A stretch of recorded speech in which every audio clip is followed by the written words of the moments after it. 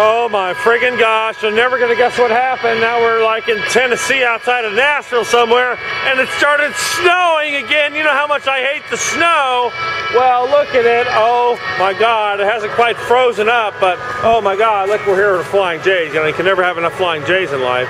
But, um, wow, wow, wow. So we're getting gas, and here it's snowing already hopefully they don't close Interstate 40 because you never know what happened there. Let's see how much we spent this time. Oh my gosh, here it goes. Uh, $12, $13, $14. You, you never want to like drain too much from your bank account because if you run out of money and you can't do other things. So save your money and uh, spend it on gas.